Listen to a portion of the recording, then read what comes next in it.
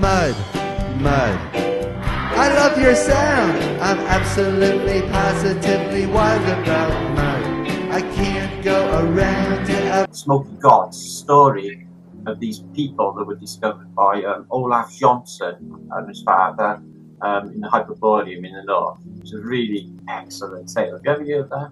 They're all in, they're all eight foot tall in silks, really high advanced with this vulture.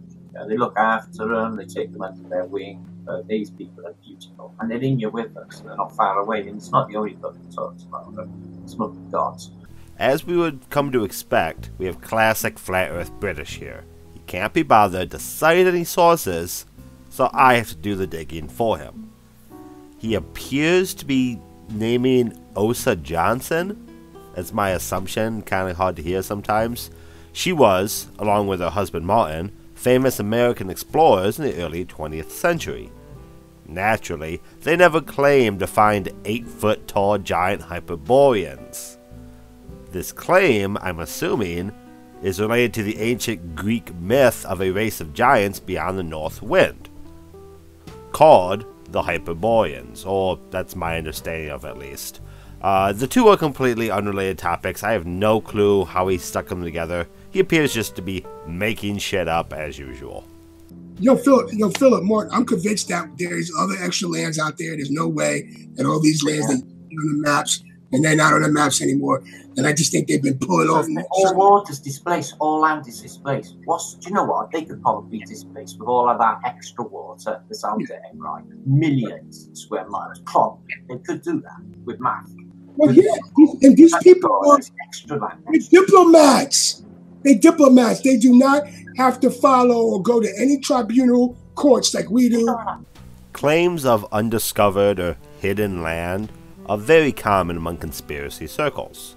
How this claim is still so prevalent in the age of airplanes and satellites is beyond me, but let's be honest, we aren't necessarily talking about the sharpest tools in the shed here. And as far as evidence goes, I suppose Flat Earth British spouting random fucking numbers and our host repeatedly shouting the word diplomat is as much proof as we need about these conspiracies. Chavez do don't got no brains anyhow.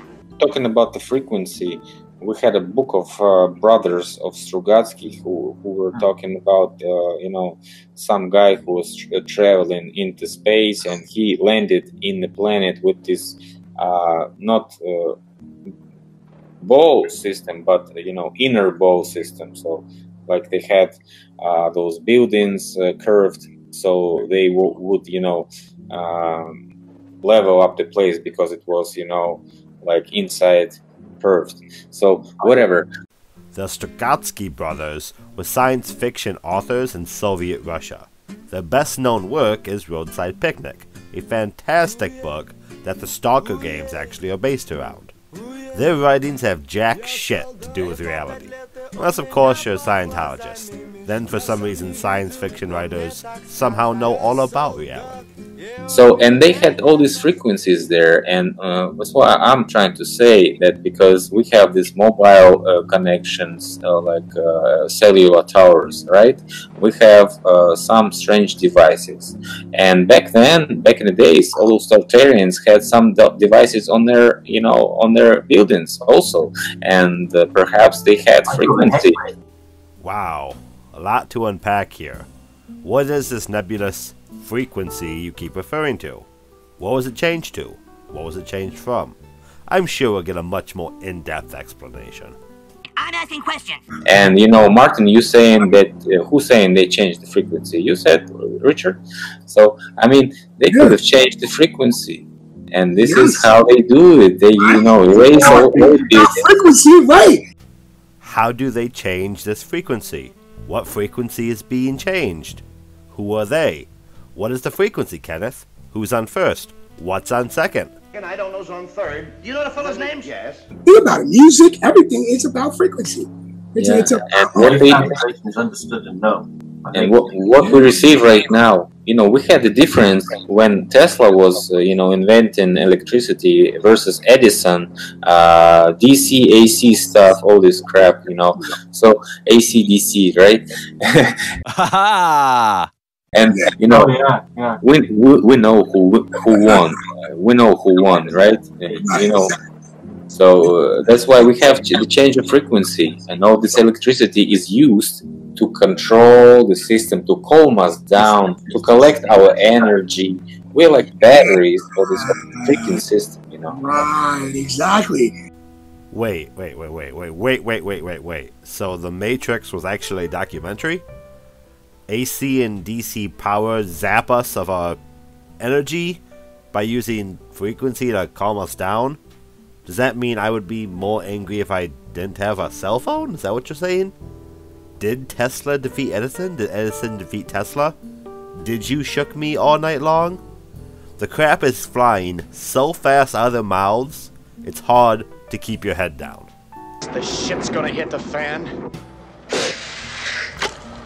Watch that. oil. And that's why it's all good. Go outside with your shoes off every once in a while. Let your feet touch the ground. Be grounded. You know, be grounded for a while. You'll feel better. I'm telling you, man. If you're feeling like shit and you're feeling Get on sad, the city, man. Get on the city. Yeah, I'm walking in the forest. I'm, I'm walking in the forest. You know, it's the best thing that they have to. The lack of education on even the most basic fundamental ideas of electricity is quite impressive here. Somehow, the evil people have been using us as batteries by changing our frequency.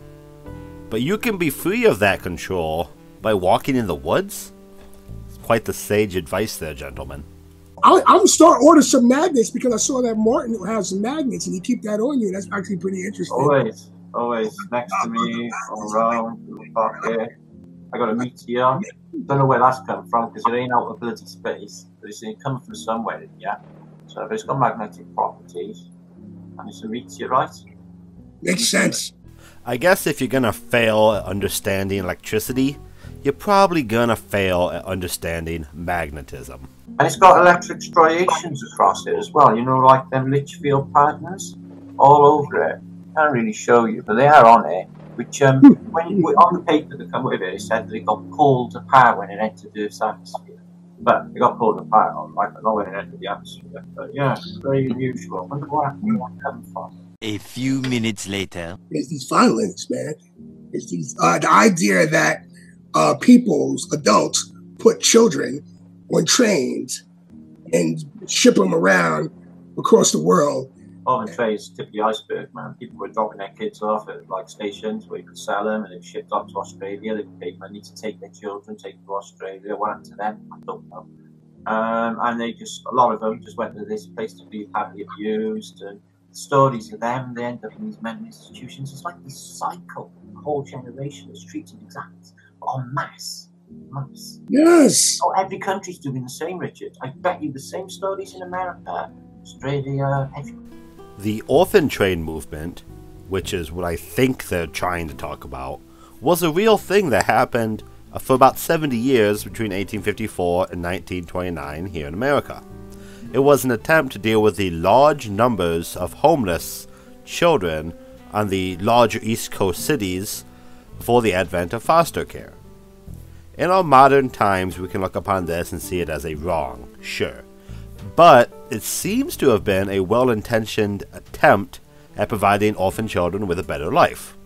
Can't wait to see how our League of Extraordinary Idiots deals with this little chunk of history. Well, yeah, and look at the size, look at the buildings of the asylums and the and the psychiatric ward. Look at Orphan Annie, Annie, the film, right, Richard? Orphan Annie. It's like everything about the Victorian era you think of is Yes. orphans, you know, and why is everyone orphan? Because they tell you it was rubbish living and no one lived long. And people were having eight kids because six of them died, you'd end up with two. No, it's not what was going on. We know that now. They were living much better. We've just seen the architecture. Life was better a few centuries ago because flat earth British liked their architecture. They weren't orphans because they built nice orphanages.